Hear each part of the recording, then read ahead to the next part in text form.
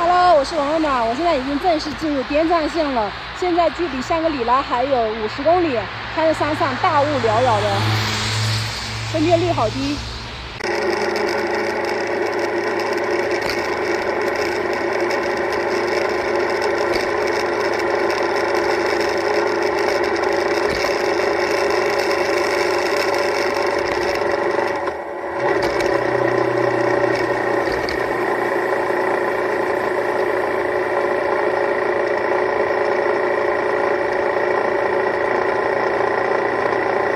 是在海拔三千六百八十五的哈巴雪山观景台。你们说富贵有高原反应吗？没有，嗨得很，特别嗨。过来看一下。我们现在是在哈巴雪山观景台，然后这边的话因为大雾，王富贵看到牦牛了，过来。然后现在因为大雾什么也看不见，但可以看到格桑花呀。对面应该就是哈巴雪山，但现在有雾遮住了，风景还是不错的。你干嘛？你干嘛？过来！不去，不去，不去！不稀罕，咱们不稀罕，不拍。刚刚那女的说拍她的牦牛要二十块钱，我们不拍，我们不稀罕哈。上车，富贵。这个加油站来搞活动，现在油价是五块七毛五，便宜了将近五毛，十升油就相当便宜了十块五块钱。这个菜市场还有卖虾的，买点虾吃吧。五十一斤，买几个，等一下煮一下。给王富贵买点牛肝，在家里面他就经常天天吃牛肝的。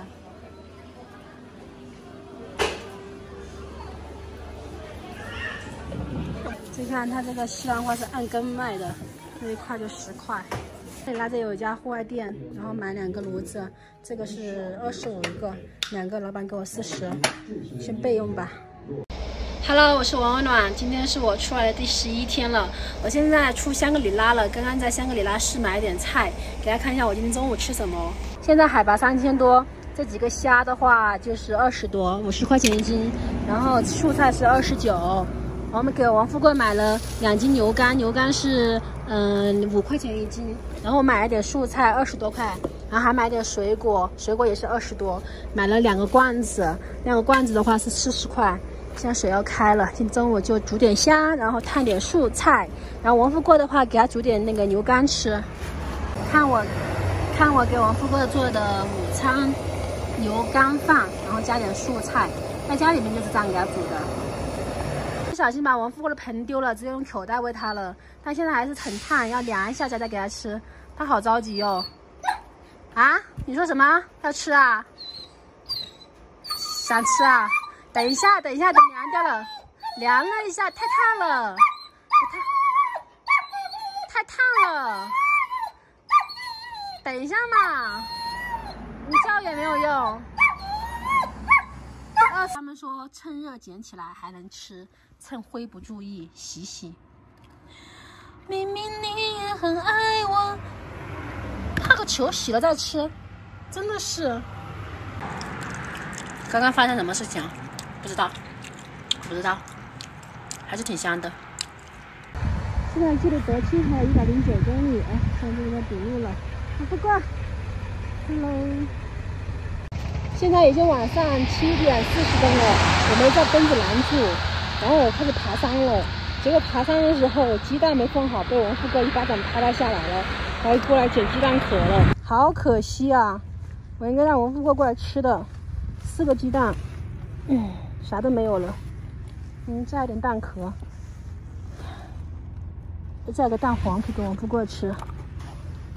这这也啥都没有了啊！谢了，谢谢平安。谢谢平安啊，要翻山了。王富贵，你看，是什么？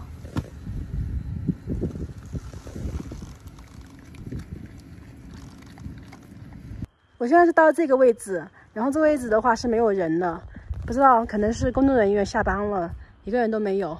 随便找个地方扎营吧，因为再往山里面走的话，全是盘山道，肯定要翻一座山，没法继续往前走了。今天就在这里扎营吧。一个人都没有，幽深深的，看我富贵的眼睛。我现在在这个半山腰的景区，没有找到水源，但是有电。然后前面有个交警的房间是开着的，我们去看一下。有一个房间，这行政交警的办公室。然后刚刚发现这个办公室的门是可以开开的。晚上是不是可以在这里面扎营啊？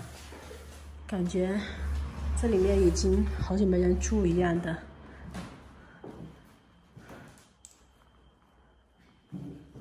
我们现在去二楼看一下，看能不能找到水源。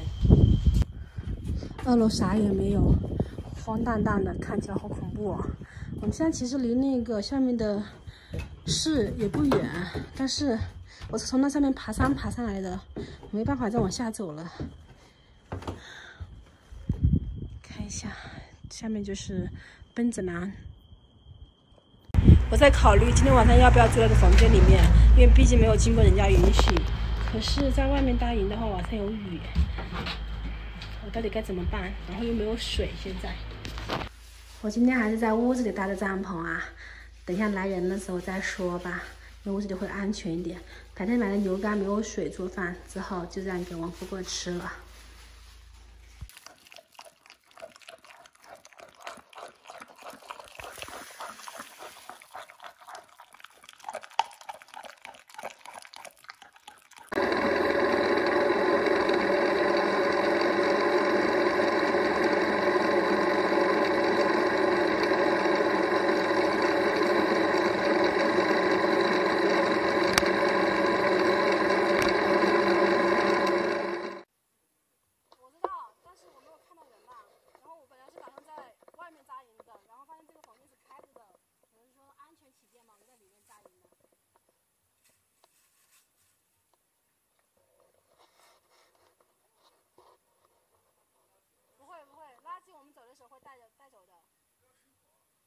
不会，没有火的。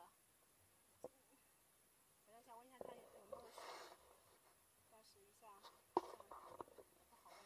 谢谢啊。